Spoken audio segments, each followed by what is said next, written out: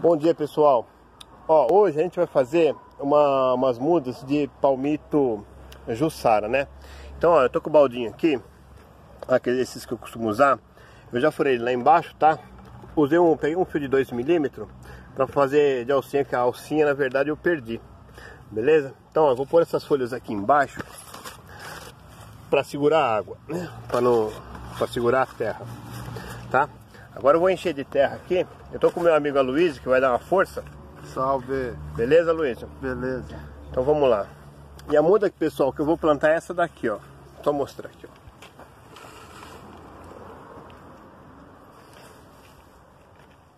Ó, essa terra que eu tô usando aqui, pessoal, é aqui do sítio do Aloysio.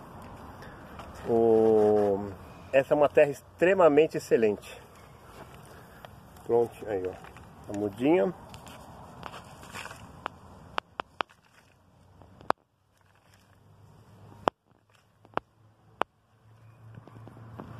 Aí pessoal, que legal, ó, que facinho, ó.